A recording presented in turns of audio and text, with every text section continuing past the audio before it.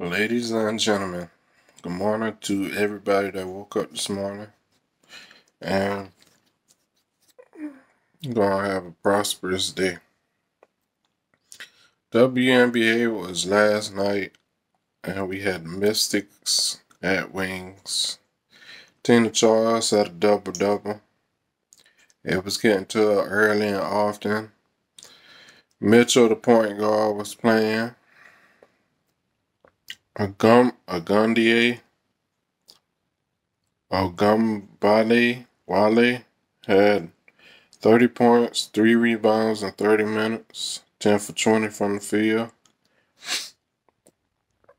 Of course, she was looking like the next Kobe, the Mamba mentality, using a cross up, using a post, using a fadeaway using different different aspects of her game to score the ball and move.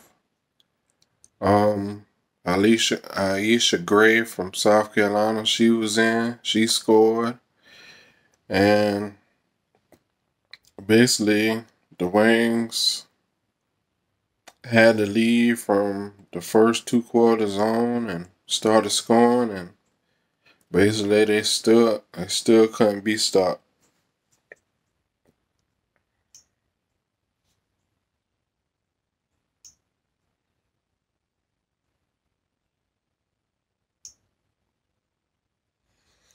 Suns at Clippers game four was last night. Suns lead the series two to one.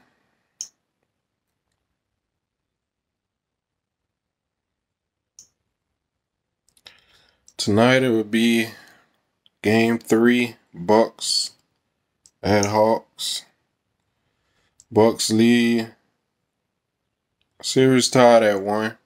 Giannis 28 points per game. Trae Young 25.3 points per game. Mm. That was all for the news and notes. Um, boxing, Val Vashenko came back from boxing to make his comeback. Um, that was a nutshell in sports. This is Matthew Riley. More videos on the way.